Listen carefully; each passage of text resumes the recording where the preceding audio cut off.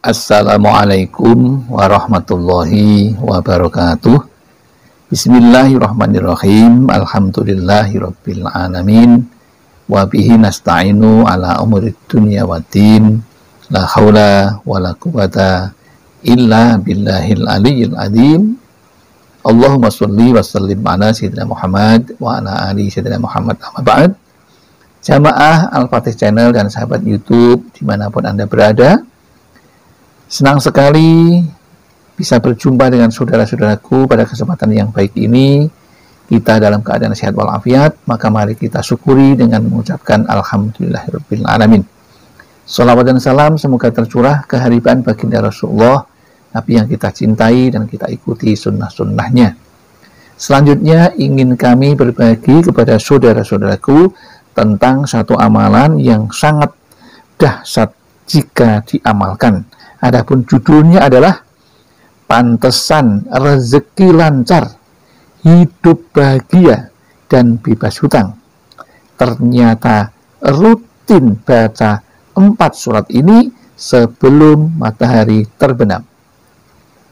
Sebelum matahari terbenam, ada satu saat yang sungguh luar biasa mustajabnya jika kita tahu saat itu untuk berdoa tepatnya setengah jam sebelum matahari terbenam.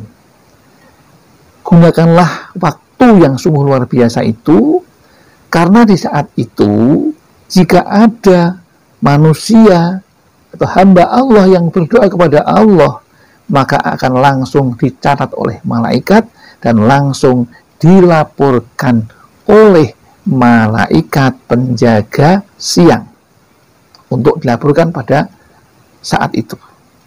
Ya. Begitu pula ketika kita berdoa di saat yang mustajab yang kedua yaitu menjelang subuh. Karena di situ juga sama. Begitu kita berdoa di saat yang itu maka akan dilaporkan oleh malaikat seketika itu juga kepada Allah karena malaikat yang malam penjaga malam akan langsung kepada Allah memberikan amal-amal manusia digantikan dengan malaikat penjaga siang dan begitu seterusnya. Di sini ada satu amalan sederhana yang mudah ya.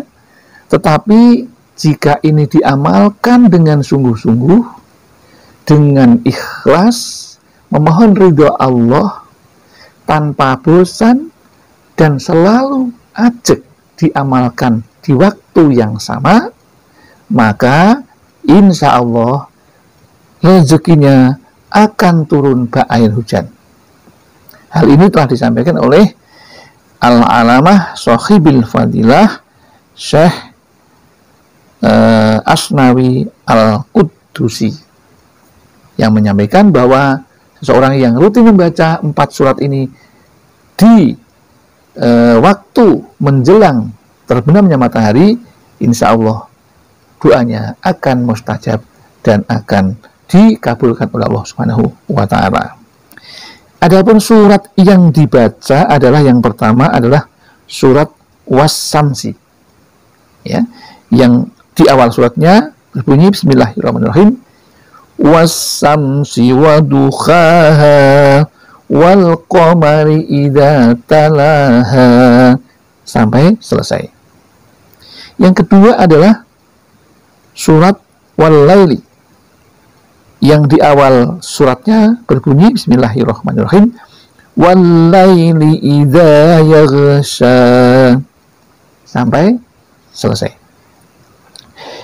Kemudian yang ketiga, surat yang ketiga yang perlu dibaca adalah surat Al-Falak yang bunyi kalimat awalnya adalah Bismillahirrahmanirrahim Qul a'udhu birabbil falak min syarri ma khalaq sampai selesai. Kemudian surat yang keempat yang perlu dibaca yaitu surat Al-Annas. Yang kalimat awalnya berbunyi Bismillahirrahmanirrahim. Qul a'udhu birabbin nas sampai selesai.